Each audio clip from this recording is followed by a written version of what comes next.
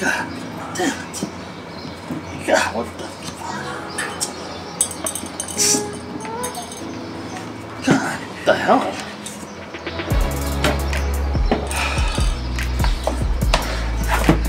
Alright, just need to compose myself. That was like trying to dig a treasure out of a box. Alright.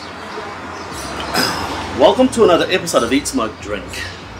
Today I am going to review the Johnnie Walker Blue. Oh, wait for it. Okay, Johnnie Walker Blue Port Ellen. So, Johnnie Walker Blue Port Ellen has been legendary um, because it has Port Ellen in it. Little background every time someone mentions Port Ellen, people tend to get excited and aroused and bust a nut or a she nut, whatever.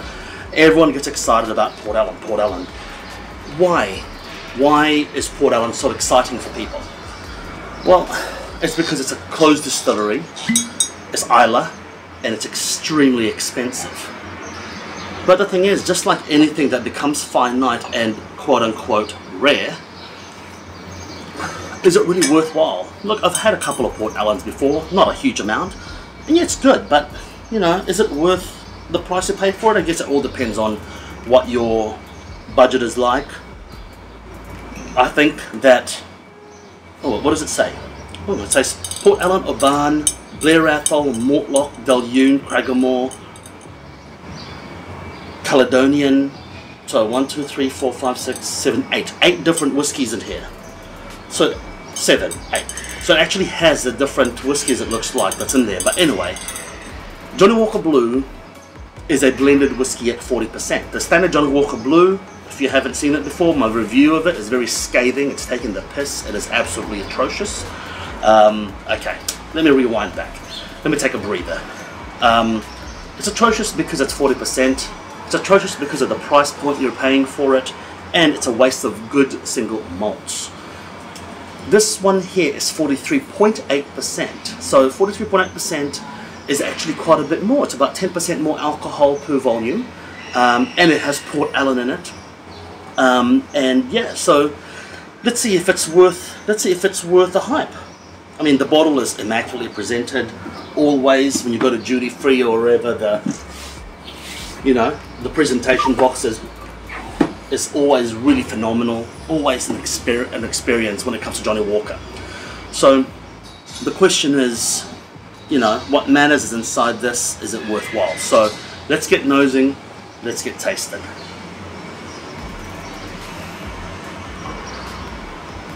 Look, already I can tell you right now, there's a distinct difference between this and your standard Johnnie Walker, and I'll tell you what it is.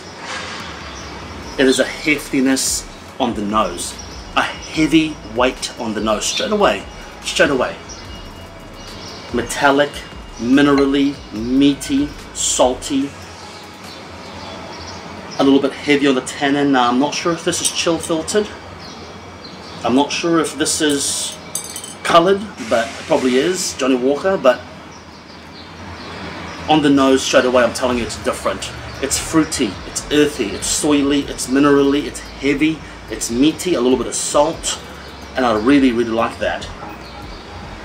Now if, if these are actually what's in it, it says it is in it, either rare, rare malts from Mortlach, Balloon, Cragganmore, then that's excellent, and that's where the heaviness comes from, because Mortlach and Cragganmore are worm tubs. They're heavy, heavy spirits. Balloon is similar to Clynelish, so Balloon is rumoured to be replacing Clynelish in Johnnie Walker's. I got a similar waxy nose and a fruity nose and a honey honeycomb-like nose. Blair Athol, one of my favourites, heart malt of Bell's whiskey, um, Oban, smoky and heavy and and, and uh, a sooty, coaly, fire smoke flavour to it as well. And then it has two other ghost distilleries and Port Ellen for the smoke. So I get it. I get exactly what they're trying to do. I get exactly what they're trying to do. The nose is excellent, so let's go through that. The smoky, earthy, wet leather, fresh tanned leather, green foliage, fresh cut shrubs, like when you just trimmed your hedge.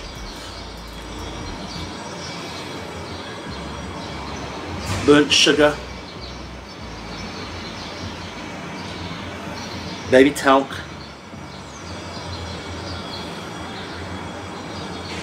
A slight note of fresh wood varnish.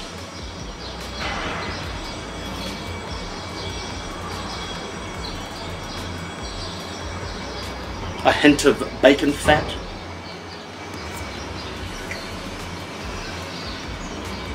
Crayons.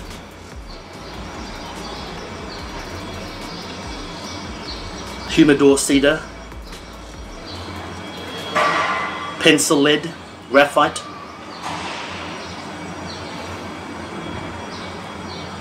Wow, the nose is excellent. I'm going to be completely honest. I am, I am taken aback by the, the excellent nose, by the excellent nose. I mean, I.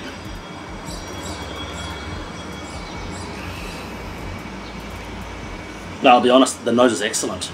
The nose is excellent. Um, the blending is the blending is faultless. It's absolutely faultless. I I can't bitch about it. The blending of it, like the nose, um, it's it's fantastic, and I'm surprised. I'm surprised, pleasantly surprised and at the same time shocked and disturbed. Let's get tasting.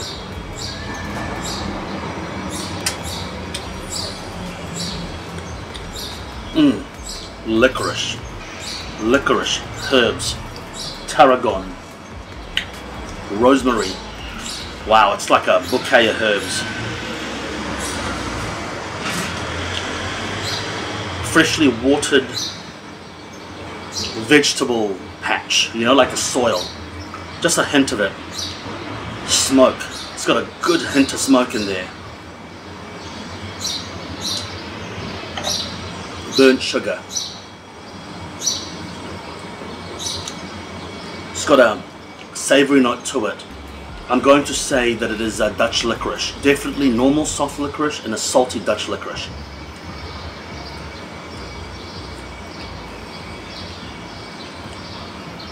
Unripe stone fruit. I'm picking apricot, that slight sourness but slight astringency of apricot.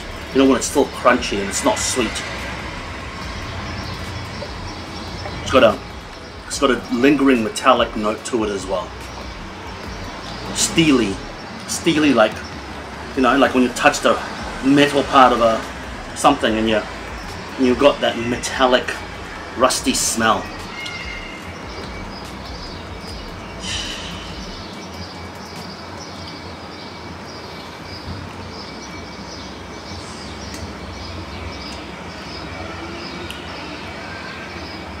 Bit of Jägermeister in there, some medicinal. It's very herbal, very medicinal.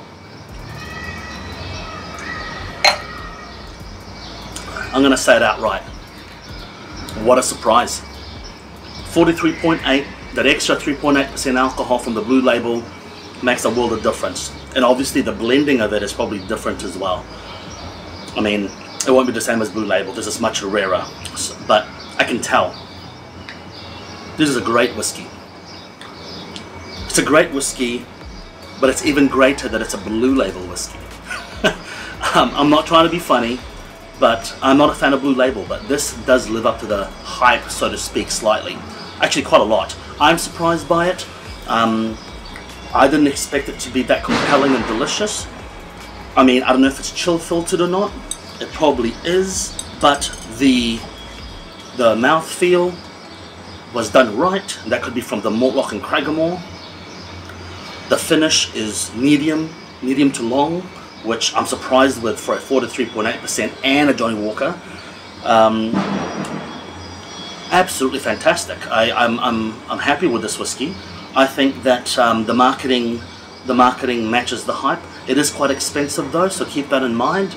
Uh, it's probably about I think four or five hundred dollars um, retail, uh, maybe even more. Um, but compared to the blue label, I just wouldn't even touch the blue label. But this actually does have a bit of substance. It has a bit of soul. Actually, I'll take that back.